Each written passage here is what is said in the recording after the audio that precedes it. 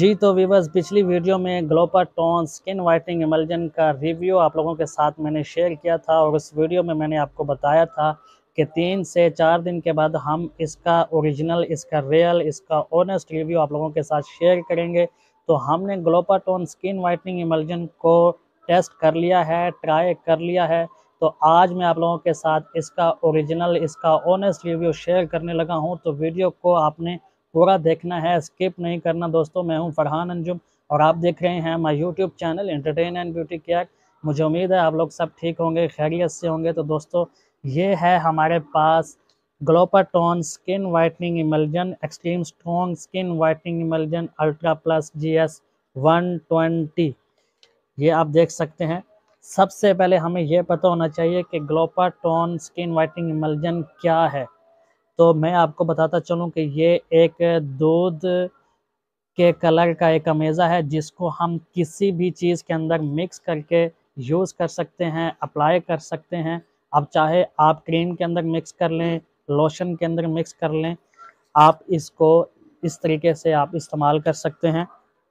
और अगर आप यहाँ पर देखें तो नीचे ये लिखा हुआ है, sixty percent in whitening cream base. और 20 परसेंट जो है वाइटनिंग लोशन के अंदर आप इसको ऐड कर सकते हैं। मतलब अगर आपके पास क्रीम है तो 60 परसेंट जो है आपने इस लोशन को उसके अंदर ऐड करना है, उसको अच्छी तरीके से मिक्स करना है, तब आप इसको अप्लाई कर सकते हैं उसके साथ। तो ये हमें एक बहुत ही ज़बरदस्त रिज़ल्ट देता है। आपकी स्किन को फेयर करता है, आपके कलर को फेयर करता है। और आपकी स्किन पर एक ग्लो लेकर आता है ये स्किन वाइटनिंग इमल्जन, क्योंकि इसका जो बेसिकली बेसिकली काम है वो यही है कि ये आपके कलर को वाइट करता है। और जो लोग वाइटनिंग फार्मूला यूज़ करते हैं, बहुत क्रीमें यूज़ करते हैं, चार पाँच क्रीमें मिक्स करके फिर वो यूज़ करते हैं तो उसका झंझट अब ख़त्म हो गया है। आपने किसी भी एक क्रीम के अंदर, चाहे आप गोल्डन पर ले लें चाहे आप होम्यो क्योर, ब्यूटी क्रीम जो है, जो हमारे चैनल पर बहुत ज़्यादा जो है वो वायरल है और हम उसको सेल भी कर रहे हैं काफ़ी, चाहे आप वो ले लें, उसके अंदर आप इसको मिक्स कर लें तो आप किसी भी एक क्रीम के अंदर आप मिक्स कर लें। ज़रूरी नहीं है कि आप तीन चार क्रीम का फार्मूला बनाएँगे, ये उसका आपका ख़र्चा भी बचता है, क्योंकि बहुत ज़्यादा क्रीमें जब आप मिक्स करते हैं, वाइटनिंग फार्मूला बनाते हैं तो कई लोगों को उसका नुकसान भी उनको होता है, उनकी स्किन पर जो है वो स्किन रेड हो जाती है, एलर्जी हो जाती है स्किन पर। तो ये बेस्ट चीज़ है। आप इसको किसी भी एक क्रीम के अंदर आप मिक्स करके इसको यूज़ कर सकते हैं।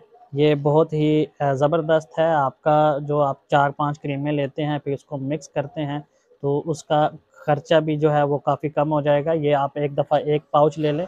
यह पचास, पाँच सौ ग्राम का ये पाउच है। और ये काफ़ी टाइम जो है ये चल जाएगा आपका।